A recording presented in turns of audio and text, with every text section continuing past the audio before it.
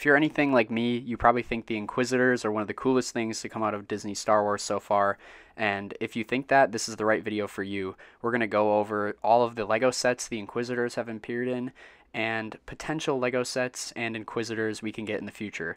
So if you are interested in this at all, this is the right video for you, and let's get right into it. The first set to ever include an Inquisitor was the Advance prototype, which came out on January 1st, 2015. This included the Grand Inquisitor and was based off the first season of Star Wars Rebels. Let's take a look at the set and the figure in hand right here. So this is the first set an Inquisitor ever appeared in. This is the TIE Advance prototype from 2015, based off Season 1 of Star Wars Rebels, and really opened the door for getting Inquisitor minifigures. And um, the Grand Inquisitor, which is included in this set, is one of the more interesting characters of the show and kind of opened the door again for Inquisitors as a whole. So you get two other minifigures in the set, but they're kind of not the main importance.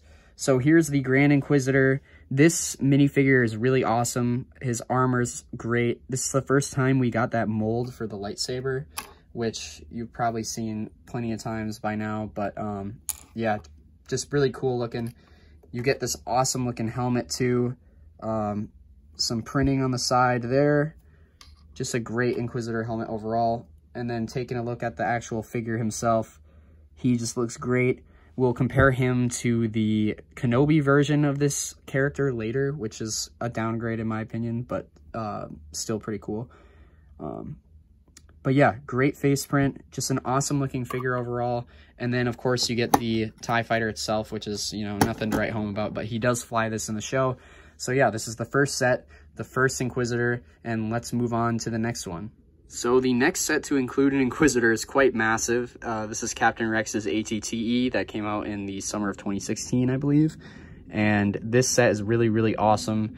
I'm a big fan of it. It's from season two of Star Wars Rebels, although the fifth brother does not actually appear in the episode that the ATTE appears in, I believe, but nonetheless is still really awesome. And we won't look at the, the whole set because you can look up reviews for that, um, but let's refocus back onto our Inquisitor here. So this is the fifth brother, and he is a great minifigure. Um, fetching a pretty penny nowadays, actually. I'm not exactly sure how much he's going for now, but he's fairly valuable. Um, see all the printing there. His chest piece or his um, neck piece, shoulder piece, whatever you want to call it, is really great. has the Imperial logo printed on there. There's a little back printing. He does have an alternate face as well where he's kind of screaming. And I'll talk about this a little later, but I'm kind of interested why we got just the fifth brother because he appears alongside the seventh sister, I believe uh, another Inquisitor, so we'll uh, talk about that more later. So the set that includes the most Inquisitors ever put into a LEGO set is the Inquisitor Transport Scythe, which came out in the summer of 2022 and was for the Kenobi show. Um, this set is really, really awesome, and it's retiring at the end of this year, so I would definitely recommend going and picking it up. But it includes three Inquisitors, which again is the most ever included in a LEGO set. And first we have the Grand Inquisitor. He looks a lot like he did in Kenobi. Um, I definitely prefer the Rebels version, but this version looks pretty awesome. The printing is great. See the backside of print on his head. Um, yeah, overall pretty good figure there. The next figure is the fifth brother. Again, we just saw him in the Captain Rex's ATTE, but this is the live action version, and I will compare these two figures at the end. Um, but yeah, pretty great looking minifigure there. Um, and then Reva, who was new for the Kenobi show, and she looks pretty good. Definitely one of the less visually interesting um, Inquisitors, since she didn't really have a helmet, but still a cool character and a cool outfit. And I think LEGO did a pretty good job at making her. So we have one more set that includes an Inquisitor, and we'll take a look at that next. So the final set to include an Inquisitor as of now is the Ahsoka's T6 Jedi Shuttle, which is brand new, just came out for the Ahsoka show and includes the character Marrok here, which looks like an Inquisitor and has an Inquisitor's lightsaber. Overall, this is probably one of my favorite figures LEGO has ever made for Star Wars. He just looks fantastic.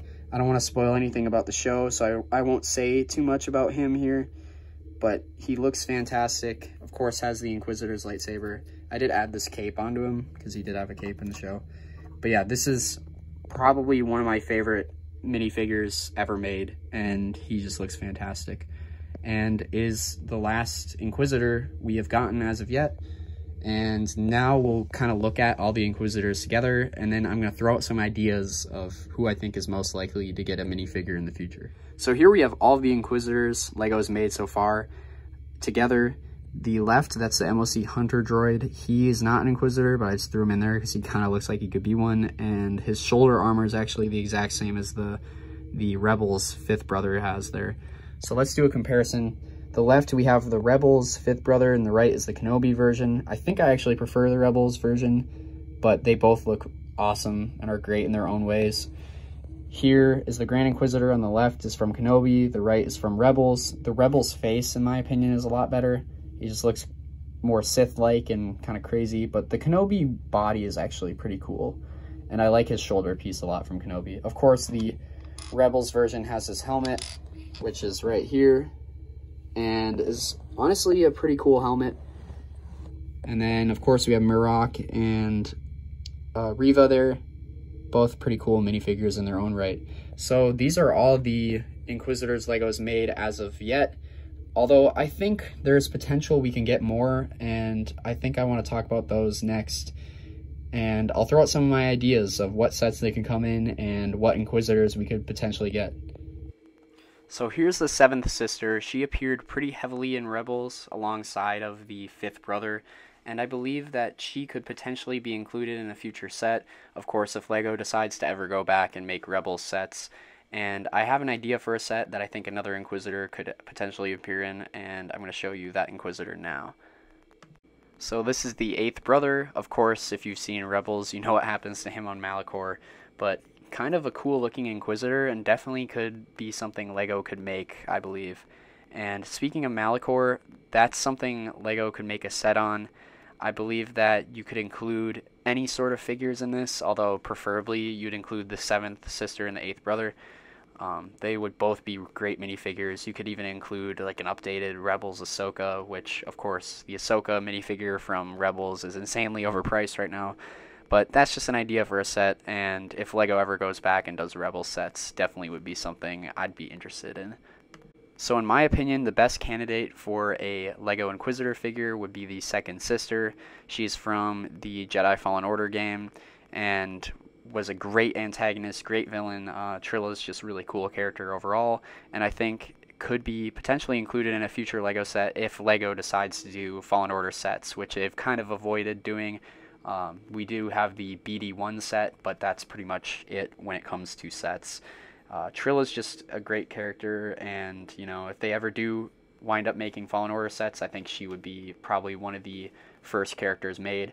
Sets that she could be included in could be a potential Cal versus uh, Second Sister, like duel set, kind of like the Ahsoka versus Maul set, or potentially a TIE Interceptor, because we can see her flying that in the beginning of the game. Although, since we just caught a TIE Interceptor this year, that's pretty unlikely. But again, I think she's probably the most likely candidate of an Inquisitor we might get in the future, maybe outside of the Seventh Sister. The Ninth Sister is also a possible candidate, as she was both in Fallen Order and Jedi Survivor, and she could appear in the TIE Reaper, which actually appeared in Rogue One for the first time, but she kind of uses that as her main transport ship, and also would be a really cool set to get but she would probably have to be a big fig, which I don't know if we've ever gotten one of those in Star Wars. And if you don't know what uh, big fig is, I'll put a picture up here. But yeah, she could definitely be included as one of those, and I think would be pretty cool. But yeah, the TIE Reaper would be a candidate for her to come in, and potentially you could just throw the ninth sister and second sister in that one set and call it a day. But we'll see if that ever happens. But you know, I doubt it, but it would be really cool. The final Inquisitor, I think that could potentially be made into Lego would be the sixth brother. He appeared in Tales of the Jedi and was killed by Ahsoka. Really, really cool character design. Probably my favorite looking Inquisitor out of all of them. And I don't think he'd be very likely to actually show up in any sets, but maybe a CMF series if they ever did that for Star Wars. But people have made pretty cool customs of this guy, so I'll throw a picture of one of those up now and the parts to get him aren't super crazy. I think it's just an Overwatch head and like a hood, and you can kind of customize the body and cape how you like. But a really cool looking minifigure, which has some potential to get in the future, although I think it's a very low chance. So that'll do it for this video. Let me know what you thought and which Inquisitors are your favorite or which ones you think we could potentially see in the future for LEGO. And I thank you guys a lot for watching my video and I'll catch you in the next one. Thanks a lot and stay safe.